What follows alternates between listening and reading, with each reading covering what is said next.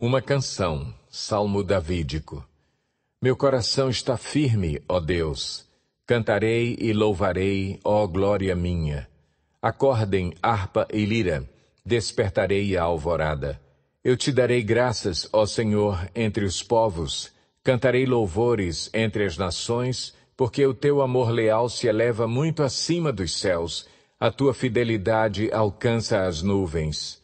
Sê exaltado, ó Deus, acima dos céus, estenda-se a tua glória sobre toda a terra.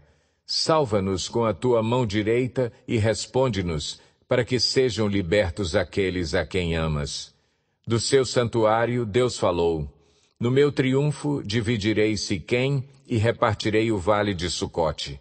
Gileade me pertence e Manassés também. Efraim é o meu capacete, Judá é o meu cetro.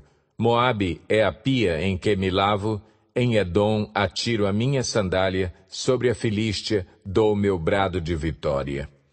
Quem me levará à cidade fortificada? Quem me guiará a Edom? Não foste tu, ó Deus, que nos rejeitaste e deixaste de sair com os nossos exércitos? Dá-nos ajuda contra os adversários, pois inútil é o socorro do homem. Com Deus conquistaremos a vitória, e ele pisará os nossos adversários.